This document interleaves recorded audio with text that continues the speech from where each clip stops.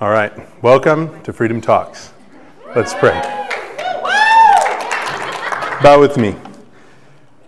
Our Father in heaven, we thank you for the warmth of this building on a cold, cold night.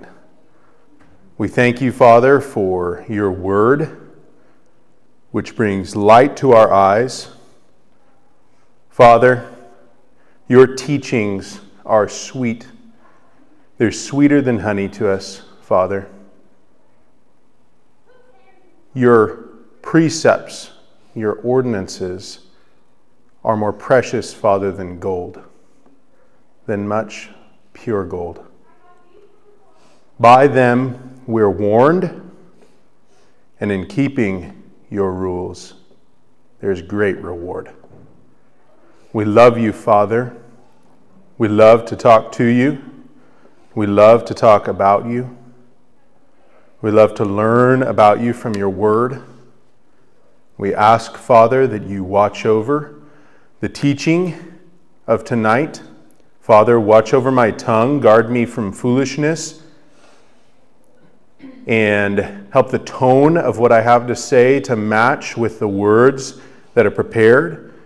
Father, if there's anything that I'm saying tonight that is true and honorable and right and pure and lovely and of good repute, then let it fall with great weight upon these women's hearts. But if there's anything that I have prepared to say that is sinful or foolish or um, not applicable or any negative thing, I ask, Father, that you just take those words and you just make them flutter away and don't let them stick in these ladies' hearts. I ask, Father, that you guide these teachings to be of your Spirit. Father, I ask that you bless the listening that happens tonight, that it will be with open ears to your word, that the ladies will open their minds and discernment, that they won't easily swallow any false teachings from anyone, especially someone claiming to be a herald of your gospel, but that they will look with discernment upon the words somebody speaks, that they'll look with discernment on what I'm about to say and compare it to the scripture and see if what it says is true. And then, Father, I ask that you create just a solid, strong connection between their ears and their heart so that when the truth hits, it goes in the ear and it goes down and it has its full effect in the heart, and that people's lives are transformed through the preaching of your word. I pray all of these things in Jesus' name. Amen. Amen. Tonight, we're going to be spending a lot of time in the Bible. So if you brought your Bible, um, turn with me to Ephesians.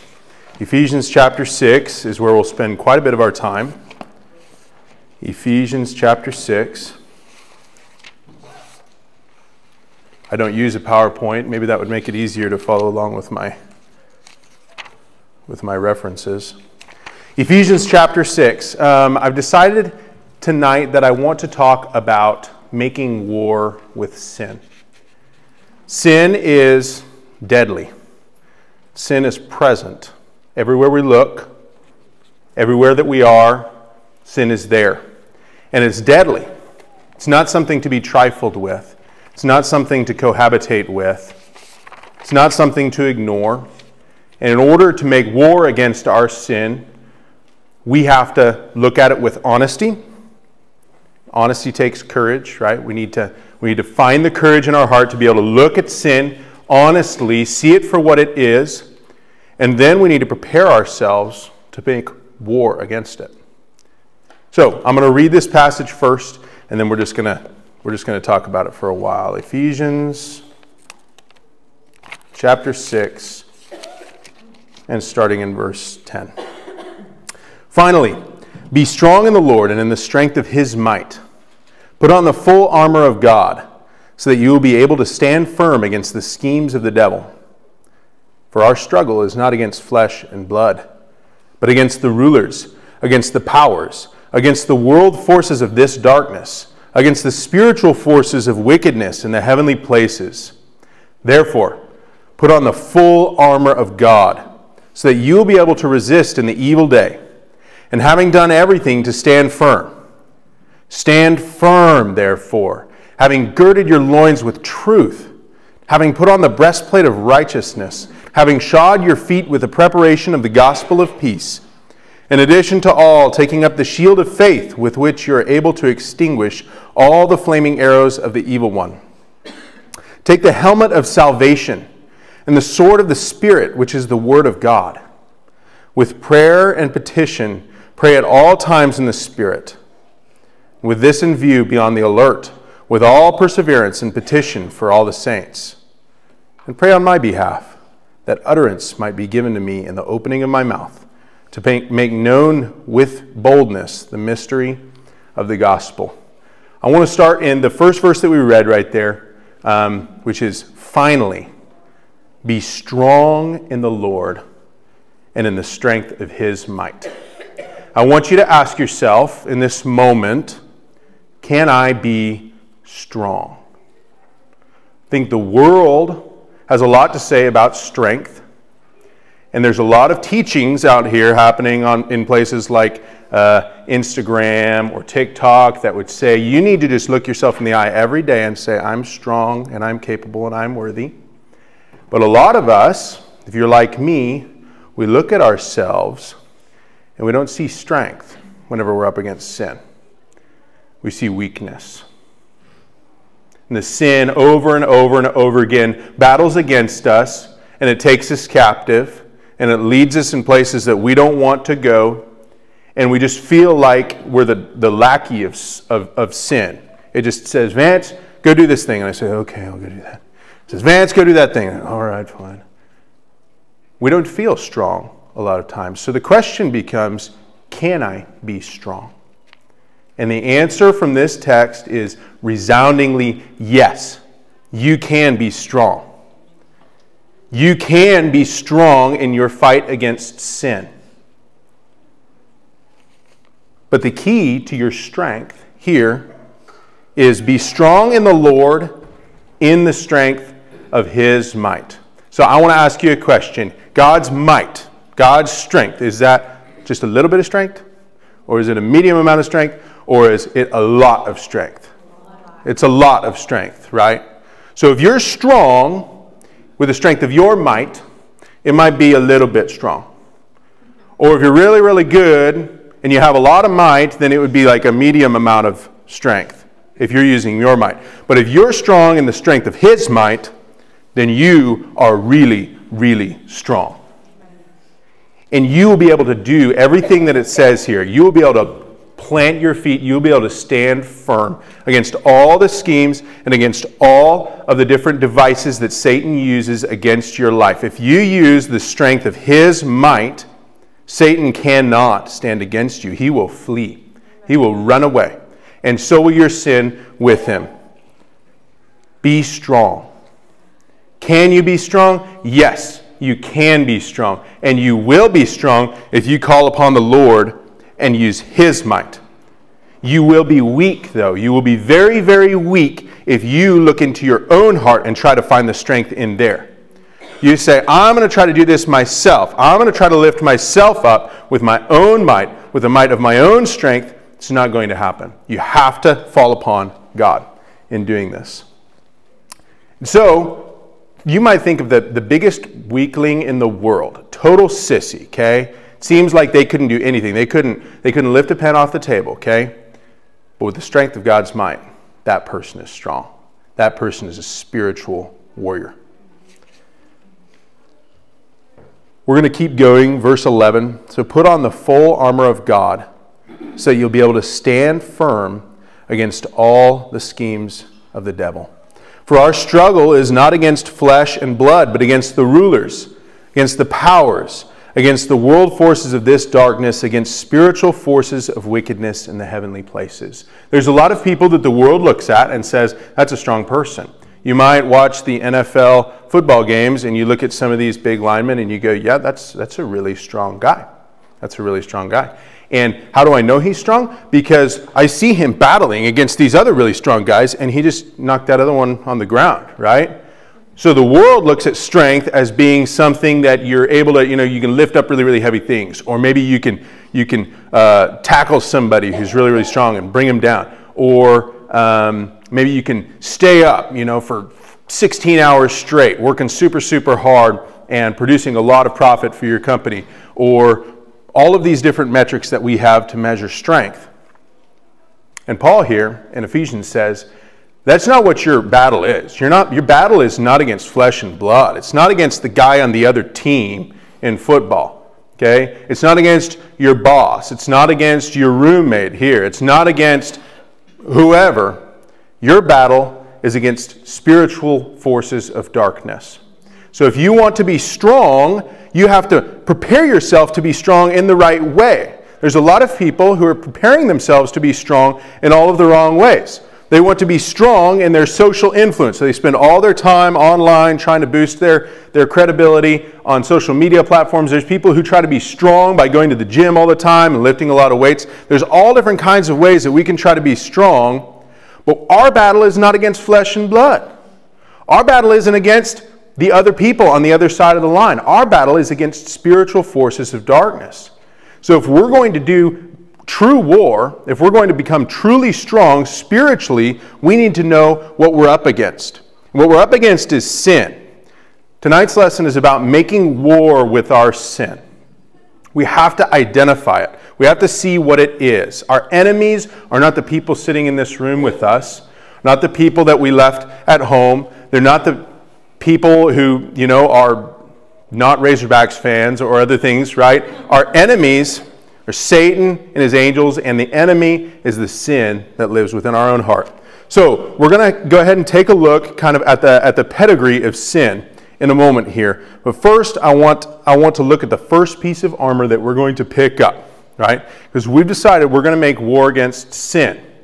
And I might give you just a second to kind of identify in your own heart where the sin is.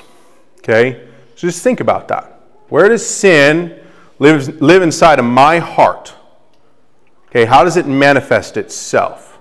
I know where I'm speaking, so there's a lot of addiction here, right? There's a lot of sin in regards to using substances like alcohol and drugs, right?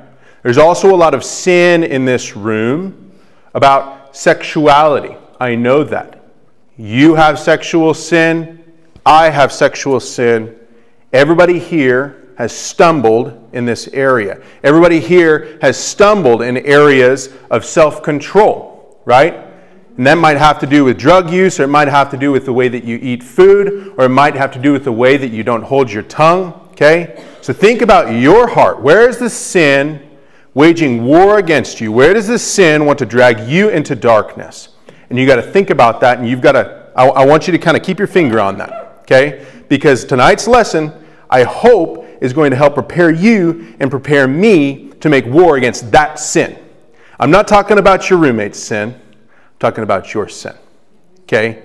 Because the dangerous sin, eh, I'm not going to hit that just yet. The most dangerous sin out there is not the sin that anybody else is doing. Nobody ever went to hell for somebody else's sin. Okay? You go, or I, I hope that you will not, but people go to hell for their own sins. Okay? So your roommate's sin is not deadly to you. Your sin is deadly to you. So don't be thinking about somebody else's sin. Think about your own sin as we go forward with this. So let's look at the first piece of armor that we're going to pick up as we prepare to do war against our sin.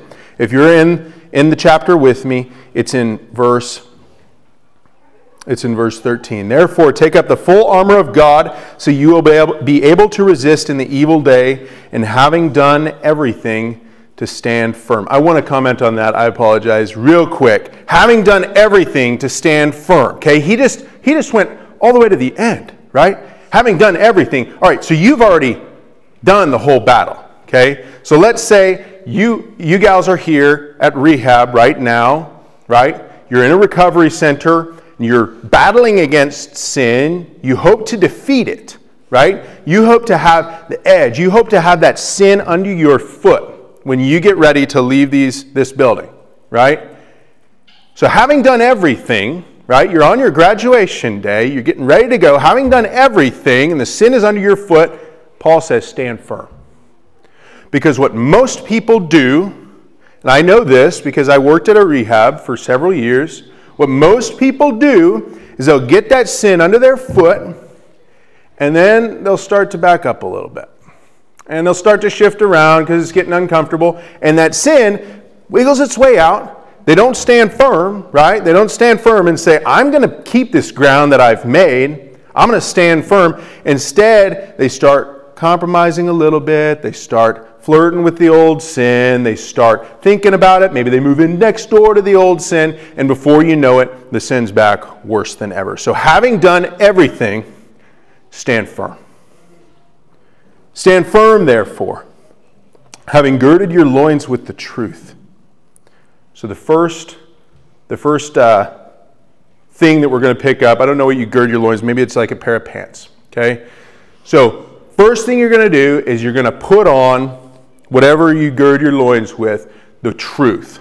The first thing is you got the truth. Okay. You're not going to make any headway against your sin unless you are willing to look at it for what it is. Okay? The origin of sin, if you look all the way back to the beginning, the first sin with Adam and Eve, Eve was in the garden, right? She was standing underneath the tree, and God had said, The tree of the knowledge of good and evil you shall not eat, for on the day you eat of it you will surely die. And Eve was standing there under that tree, and the serpent came up, and the serpent said, Hey, Eve, did God really say you shall not, on the on the day of this, you will eat of this, you will surely die? Or, uh, I'm sorry, the, the, serpent came up and said, uh, Hey, Eve, did God really say you cannot eat of any tree in the whole garden? And Eve said, Well, no, no, God said that we could eat of any of them, but just we can't eat of, of this one because we'll surely die. And, and the serpent said, You'll not surely die. But God knows that on the day you eat of it, you will attain wisdom and you'll become like God, knowing the difference between good and evil. So the woman saw that the fruit was desirable to eat, and it was desirable for gaining wisdom, and so she took and she ate. So, the origin of the woman's sin, the origin of all of our sin, is deception. We're unwilling to accept the truth for what it is. Instead, we exchange the truth for a lie. Okay? So, God gave us a gift. Have you ever received a gift for Christmas or something like that? Okay? And you unwrapped it and you went, oh, that's not what I wanted, right? But I know they're selling this at Walmart for $23.99. And so I'm going to take it back and I'm going to exchange it for something that I really do want, right? That's what an exchange is. So God gives you the truth, God gives you what's good, and you take it and you go, ooh, I don't really want that. And so you take it back to Walmart and you exchange it for a lie. And you say, I'll take that lie because I like the lie. Okay? I want the falsehood. I don't want the truth. A lot of you are probably at a place here where you are denying the truth for a very, very long time. You may have de- denied the truth that you were really suffering from addiction. You might be denying the truth right now about different things that are going on in your heart. Because this is not a, a safe place from your sin, right? Your sin is still around. Okay? you might have achieved some safety from the substances that you used and that sort of thing. But this is a wonderful place. I know from inpatient rehabs, these are wonderful places to gossip. Okay? You can gossip all the time, man. You can talk about her behind her back and you can talk about this. And the drama can really, really ramp up, right? So that's one aspect, and there's lots of other aspects where sin flourishes in these contexts. And we have to be willing to look at it with honesty. We have to look it right dead in the eyeball and say, I see you. You're not deceiving me, okay? I see the truth for what it is. So let's turn to Romans. We're going to go ahead and look. We're going to look at the nature of sin, okay? That's what it starts with. It starts with truth. We're going to confront sin for what it really is. So we're going to turn to Romans chapter 1. Romans chapter 1.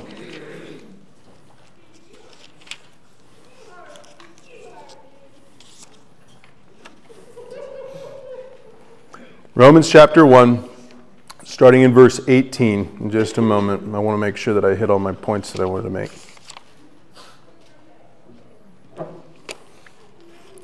Okay. Romans 1, verse 18. For the wrath of God is revealed from heaven against all ungodliness and unrighteousness of men who suppress the truth in unrighteousness. Okay, we see three different three different bullet points on what sin is right here, okay? So, first of all, we see what it does. It pits us against God. God's wrath is manifest against sin. So we know where it's going to end up. It's going to end up with us having to stand in the face of God's wrath. That's a terrible, terrible thing, Hebrews tells us. But it's what it is, is it's ungodliness and it's unrighteousness. So to know sin, to know your sin, you have to understand these two things about it first. One, it's ungodliness. The first and probably the worst thing about sin and that it, is that it's not according to God's character. It's ungodly. Okay? Godliness are, is things that are like God or pertaining to his character. Ungodliness is things that are against God's character. And that's the worst thing about your sin. There's a passage that says they sin because they don't know the Father. Okay? If you don't know God, if you don't love God for what He is, then your sin is going to run wild in your life. Okay? Because it's rooted to ungodliness. Okay? You don't care about who God is. You don't know who God is. So why are you going to act like God if you don't know Him and if you don't care about Him? The second thing that we see about sin here is that it's unrighteousness. They suppress the truth in unrighteousness. So, the first thing about sin is it's, it's, against God's character. The second thing about sin is that it's not right. Okay? Now, that, that may seem just like the most obvious thing in the world. Being the right way.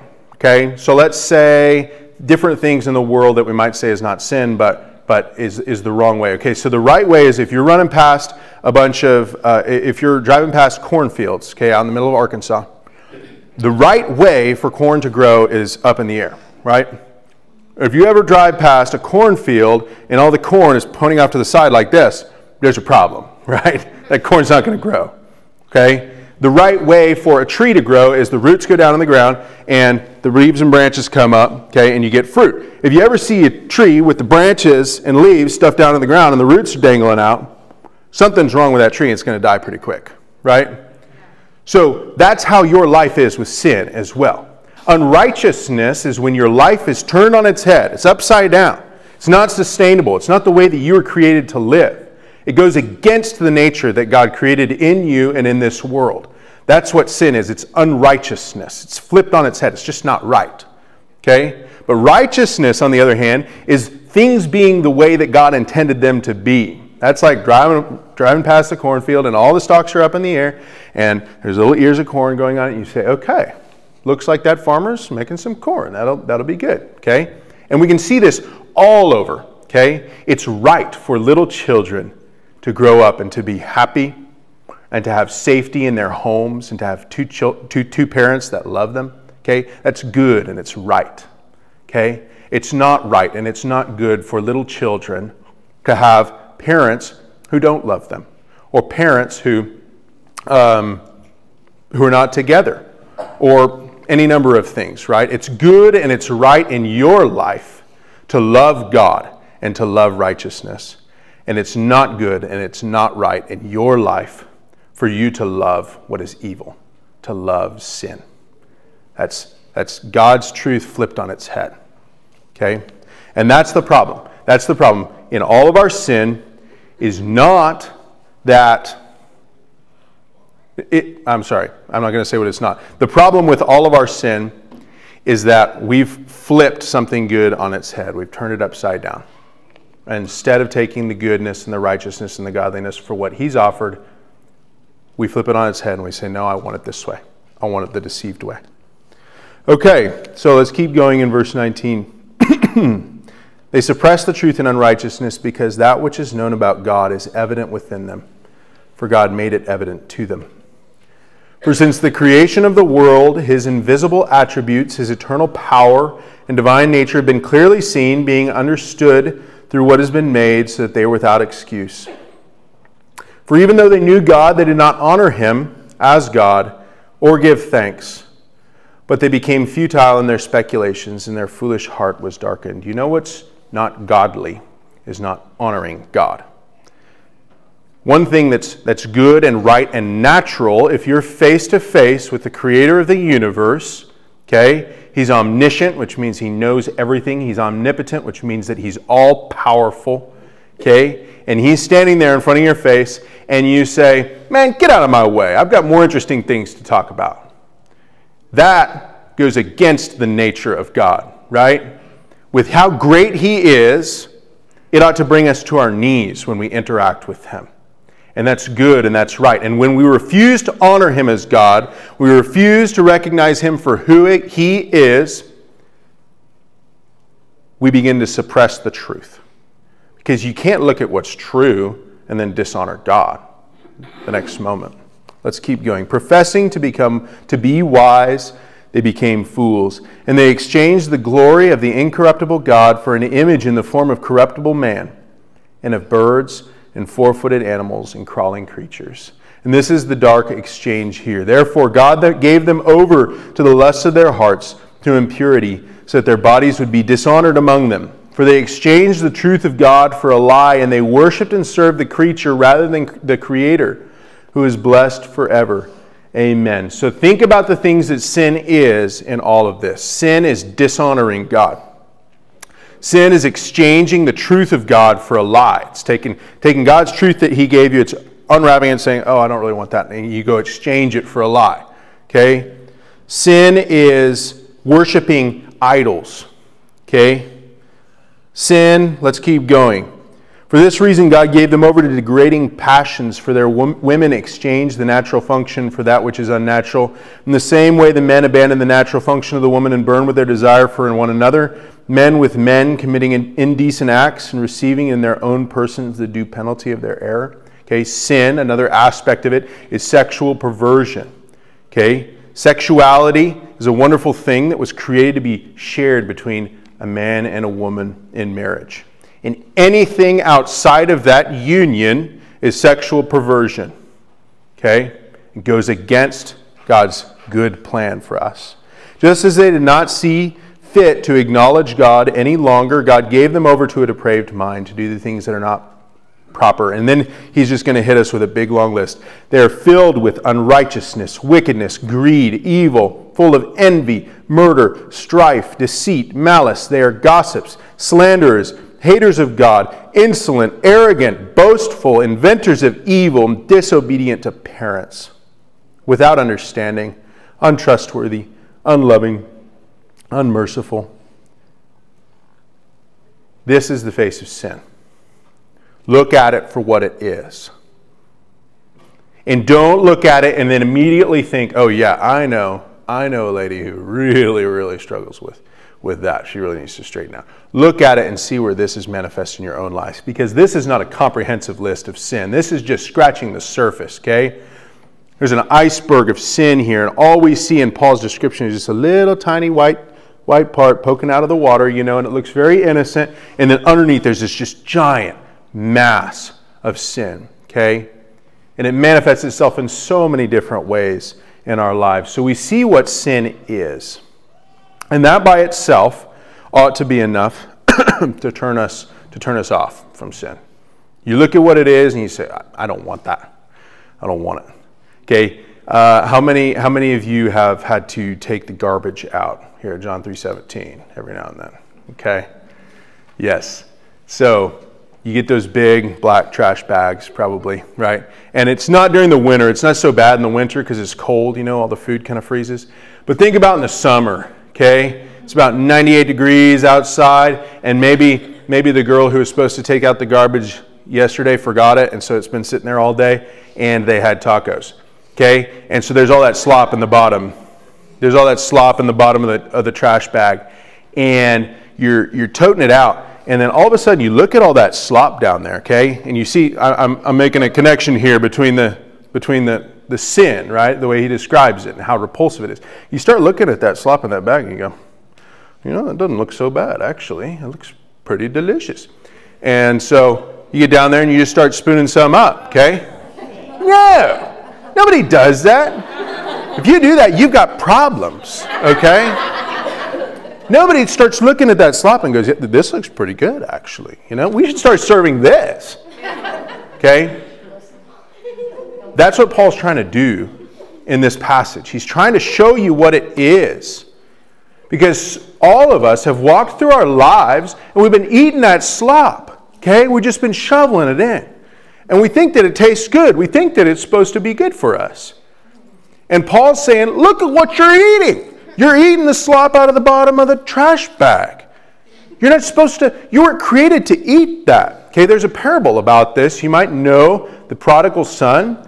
Okay, he goes off into his sin, and at the very end of his road of his sin, he's sitting there over this pig trough, looking down at the pig slop, and he's just going, Man, that pig slop looks really good right now because I'm so hungry. Right? That's where we get. That's where you've been. That's where I've been. You're looking down at the food, at the, at the pig slop, and you're going, I, I wasn't made to eat this stuff. This isn't, this isn't what I'm supposed to eat. Okay? So we look at the sin, and, and just knowing what it is ought to be enough. We ought to say, yeah, what it is is disgusting, and I'm not going to take any of it. but the truth is, it's not enough for us. Okay? Might be enough for you. It's not enough for me because I find myself sinning all the time. Okay? I've got my nose down in there. Okay? In that gross sin, and I'm indulging in it. Okay? And so God doesn't just leave us there saying, here's what it is. Here's what the sin is, and here's, and, and if you know what it is, you're never going to touch it because He knows we've already touched it. Okay? We've already been eating it. So He says, I'm going to also tell you about what it does. It's not just about what it is, it's also about what it does. So, the first thing that he says in this passage is the wrath of God is revealed from heaven against all unrighteousness. Oh, thanks. Thank you. So, if what it is isn't enough to dissuade you from partaking in sin, then look at what it does it draws the wrath of God down upon you. Okay? So if you're looking in that trash barrel, it's not just that it's gross to eat, but it's also that if you do eat it, you're going to get sick. Really, really sick. If you eat it, you probably die. Okay? If you eat some of that garbage. It's not just what it is, it's what it does. Let me look. Hebrews chapter 10. I wrote Hebrews 26, but I know that must be a verse because Hebrews doesn't have 26 chapters. Hebrews chapter 10 gives us an image of this wrath that we have to face if we keep going after the sin over and over and over again. Let's see. Hebrews chapter 10 For if we go on sinning willfully after receiving the knowledge of the truth, there no longer remains a sacrifice for sins, but a terrifying expectation of judgment and the fury of a fire which will consume the adversaries. Anyone who set aside the law of Moses dies without mercy on the testimony of two or three witnesses. But how much worse a punishment do you think he will deserve who has trampled underfoot the Son of God and has regarded as unclean the blood of the covenant by which he was sanctified and has insulted the Spirit of grace. If somebody in the Old Testament was killed for breaking the law, how much worse are we going to have it when we take Jesus' name and we drag it through the mud? For we know him who said, Vengeance is mine, I will repay. And again, the Lord will judge his people. It is a terrifying thing to fall into the hands of the living God. It's not just what the sin is, it's what it does. And your sin has the dark power to do this in your life if you don't stand firm, like Paul said, and put on the full armor of God, your sin will come in and it will steamroll you spiritually. And you won't be able to stand. But the glorious truth of the passage tonight is that you can stand by the power of God's might. And this does not have to be you. Okay? This does not have to be you. You can stand firm in the strength of God's might, and in the end, you'll be with Him. So it's not just what sin is, it's what it does. Let's take a look real quick at where sin lives. Okay, we're back in Romans chapter 6, verse 12. Therefore, do not let sin reign in your mortal bodies so that you obey its lusts. And do not go on presenting the members of your body to sin as instruments of unrighteousness, but present yourselves to God as those alive from the dead, and your members as instruments of righteousness to God. There's a war that's happening, whether you like it or not. Okay? And the war is happening over the real estate of your heart. Okay? Your heart is like a castle. Okay? And God really desires that castle. He wants to live there. He wants to take his throne and he wants to set it right down there in the castle of your heart and he wants to live there and he wants to reign. Okay? And he wants for all of the different subjects of that kingdom, which Paul says here are like your members, okay? Your arms and your legs and your fingers, and your toes and your nose and your sexual organs and your brain and your eyes, okay? He wants all of these things to be servants of his and he wants you to use them in ways that are glorifying to him, in ways that bring true and lasting joy into your life. So God wants for you to to be His, right? He wants to reign in your heart. But Paul says there's another entity that wants to reign in your heart as well. Okay, in verse 12, do not let sin reign in your mortal body. Okay, so sin would also like, or Satan would also like to take his throne and he'd like to plant it right there in the middle of heart. And then he would like to take all of the servants, right, which is your arms and your legs and your mind and your nose and your eyes. He would like to take all of the members of your body and he would like to use them as, as servants or as slaves to accomplish his purposes, right? So there's a war that's happening. And the war is happening within your own heart. So, as you prepare to make war against your sin, understand where that war is going to take place. You don't have the luxury of fighting this battle on somebody else's turf, right? Here in America, we've, had, we've been blessed in many ways that we have fought very few wars in recent years on our own turf. Almost always, we're going overseas and fighting the wars over there, okay? Because a war is an ugly, ugly thing when it comes to your homeland. Okay, all the buildings are shattered with bombshells. Okay, civilians are hurt, innocents are hurt. Okay, industries collapse. It's a terrible, terrible thing for, for a war to take place in your own homeland. But that's just the reality of it. This war is going to take place in the battleground of our hearts. And we have to prepare ourselves to fight the war there. Okay? And if we turn elsewhere, we try to fight the war in somebody else's heart, okay? So my contribution to, you know, God's kingdom is I'm going to go and I'm going to fix my, my neighbor, Lindsay, right? No, that's not going to work, okay? The war takes place in your own heart. You have to fight the battle there. So if you go looking for sin, and say, I'm ready to fight, okay? Bring it on, sin, let's do it. You could find sin all over the place, okay? You can find it, uh, you can find it in your roommate, you can find it in you know, politicians, you can find it at the grocery store, you can find sin everywhere. But all of that sin is bad, okay? And it's deadly.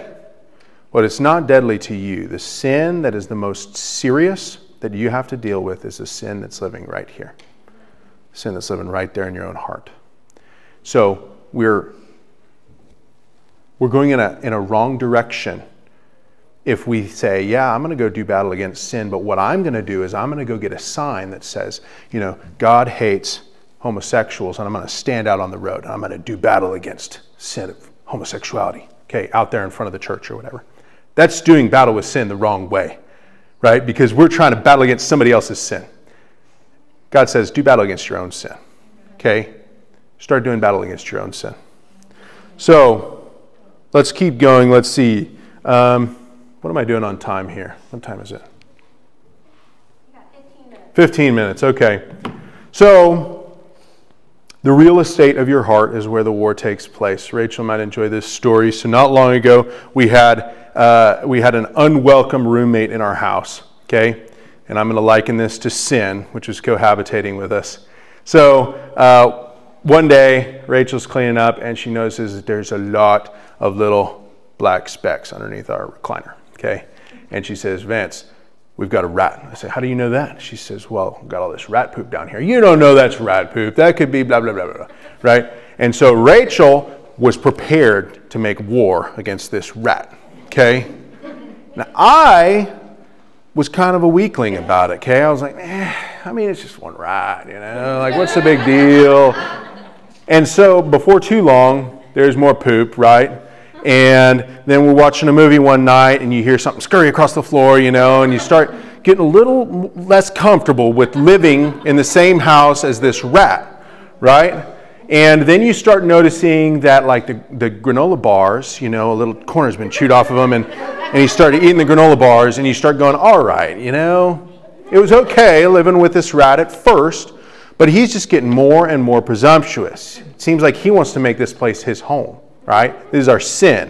It seems okay at first, it's not a big deal, and then it gets more and more and more, and next thing you know, it's sitting in your recliner, and you're saying, where am I supposed to sit? Okay? So one night, that, that we see this rat. I, I, forget. Oh, okay. So we started laying out traps, and you could hear these things snap. So in the middle of the night, this this snaps, and I go, "All right, we got him." And I go out there, and this was a wily rat. Okay, he could. I mean, he might be the personification of sin because he was very, very smart, and this guy knew how to set off the trap and then steal the food. And so I rush in there, and I don't see him, and I'm looking all over, and then I see him dart across the, the room that way, and so I'm after him with the broom. And I'm ready to make war against sin in this moment, right? I've got my broom and I'm going to kill this thing, okay? and so I go after him and he scurries away and he escapes. Well, the same thing happens a few nights later and he gets into the oven and I'm sitting there wrestling with him. You know, I grab him by his tail and he's like inside of the oven and I've got him by the tail. I'm trying to yank him out and his tail, like, all right, I, I don't need to get too much into this. Okay, I apologize. You get the picture. You get the picture. I'm, I'm cohabitating with a rat. He lives in my house. Okay? And I'm okay with it for a while as long as it's just a few turds under the couch. But when he starts to eat the food and we start to scurry across the floor when we're watching movies and he starts to really upset my life, I've got to get serious about it. Okay? I've got to get serious about my sin too. Because it's okay to cohabitate with my sin for a while, but over time, I've got to start getting serious about it. Okay? Because that sin is going to take more and more of my life away from me. And I need to make war against it. And I need to take it seriously. I don't mess around with it. I don't joke about it. I don't treat it lightly. If I'm serious about getting this rat out of my house, I'll do what Rachel did, which she put flour across the floor to find out where he was going in the middle of the night. She track his little footprints, and then she put out all these traps all over the place. And then one night, sure enough, she got it. Okay? And she made war against that rat, and she won in the end, right? But at that moment, let's go back to stand firm. And having done everything, you're standing over the corpse of this rat and you're saying, I finally won. Stand firm. Go and plug up the hole, okay? How did this rat get in here? Why is he coming in here? Are we leaving food out on the counter? We've got to keep the progress that we've made, okay? We don't just be satisfied with where we've landed at the moment. Okay. So don't live with a rat. Let's get back to Ephesians since we're running close on our time and we're going to finish this thing off. Ephesians chapter 6.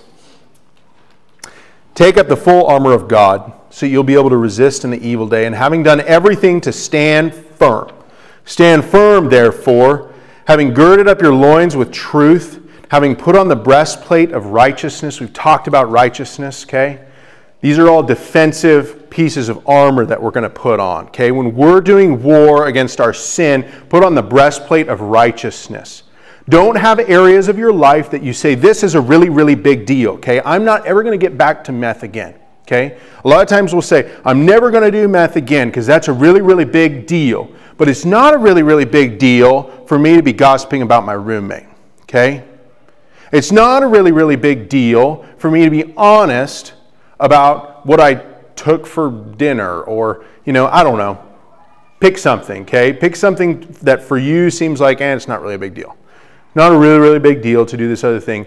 It is a big deal. Put on the breastplate of righteousness. Don't let there be any of your vital organs that are uncovered. What warrior would go into battle with a breastplate of righteousness that's got a big old huge hole in it right here? He says, Yeah, as long as this stuff is covered, I'm good. I don't really care if I get hit by a sword right here. Okay, no. You need to cover your whole body with that breastplate, okay? So think about the different areas of your life that you're leaving exposed to attack by the evil one and shore it up. Get a good, big sized breastplate that covers everything so that you're able to repel all of the Satan's attacks. Okay? Uh, where were we? Put on the breastplate of righteousness, having shod your feet with the preparation of the gospel of peace. So we've started af- looking after our own lives and taking care of our own sin, and now we start to look outward. We say, I'm going to put on the shoes of the gospel of peace and I'm going to start taking this to other people. I'm going to start showing what other people can accept. I'm, I'm going to show them how they can accept Christ to be their own. In addition to all, taking up the shield of faith with which you will be able to extinguish all the flaming arrows of the evil one. Faith. Faith is the victory. We sing that song often.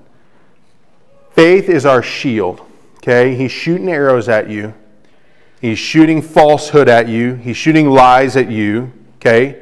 Lies like maybe it's not a big deal if you do this thing, or lies like you'll never be able to be strong in the Lord and the strength of His might, okay, because He doesn't love you. Lies like um, whatever the lie might happen to be for your life, okay. Get your shield of faith. Put it right there in front of your body so when those lies come in, like flaming arrows, they just go quaping and land off there. Quaping, okay? You've got the strong shield of your faith. Faith is the conviction of things hoped for, the assurance of things not yet seen. So, in order to have faith, you have faith in a person, you have faith in God, okay? Number one, that God's real. Number two, that God's statements, the things that He says, are true. He says so many things. He makes so many promises, and they're all good. They're all good to the very end. God loves you, okay? God chose you to be His child before the foundation of the world. He set you aside to be a member of His church. You can cling to promises like this, okay? And you can bolster your faith, and it can become a strong, big shield that none of Satan's arrows can shoot through. Take the helmet of salvation Okay? Put that on your head. Put your salvation on your head and let it guard your thoughts. Okay? Knowing that I'm God's child and I know that I'm saved. Salvation is a big fancy word that means you're saved. Okay? He came and He saved you, and you have a room up there, and He's preparing it for you right now. Jesus says to His disciples, In my Father's house, there are many, many rooms. If it were not so, I would have told you. And I'm going up there now, and I'm going to prepare a place for you so that where I go, you can come and be there with me as well. So think about Jesus up there, and he's in your room right now. And he's putting the sheets on the bed, okay, and he's putting the pillows on just like you like it, and he's folding the towel up to look just like a monkey, and he sets it there. He's preparing a place for you in his Father's house. And you can wear that salvation on your head like a helmet, and it can guard your mind and it can guard your head. I must be almost out of time. Okay. Helmet of salvation. And take up the sword of the Spirit, which is the Word of God. Now, out of this whole list, the sword is the only weapon that you use to attack somebody. Okay? All the rest of the stuff you use to protect yourself. But the sword, you're going to use this to attack Satan right where he is. You remember how Jesus used the sword of the Spirit, which is the Word of God, when Satan came to him? Satan came to him and offered him three temptations Okay? And now I'm going to forget them because I'm trying to say them from memory. All right, so he came up and he said, Jesus, you're really, really hungry. You haven't eaten in 40 days. Just turn a little bit of these, little bit of these uh, stones into bread. Jesus said, No, I'm not going to do that. And he defended himself with the word of God. Man shall not live by bread alone, but by every word that comes from the mouth of God, says Jesus. And then Satan he takes him up to the top of the temple and he says, Just throw yourself on down because God says he'll command his angels concerning you and they, they won't let you strike one foot against, foot against the ground. Jesus says, It is written, You shall not put the Lord your God to the test. use the, the sword of the Spirit, the Word of God, do battle against Satan. Okay, and Satan brings him on top of a tall mountain and he looks at all the kingdoms of the whole world. And he says, Jesus, if you just bow down to me, all of this will be yours. This will be your dominion. And Jesus says, It is written, worship the Lord your God only. And then Satan left him, right? Jesus took up that sword of the Spirit, the Word of God, and he plunged it right into Satan's heart. Okay? You can do war with the armor of God. You can protect yourself and you can do battle against Satan. 1 Peter chapter 5. You might not have time to turn there. I might not have time to turn there. Whatever, I'm just going to butcher it from memory. Your enemy, the devil, prowls around like a roaring lion, seeking those to devour. Resist him, and he will flee from you. Okay? You resist him with the word of God, and he will flee from you because Satan is not strong in the might of the Lord. Satan's a coward. He comes at you with lies, he comes at you with deception. He doesn't come at you full on front.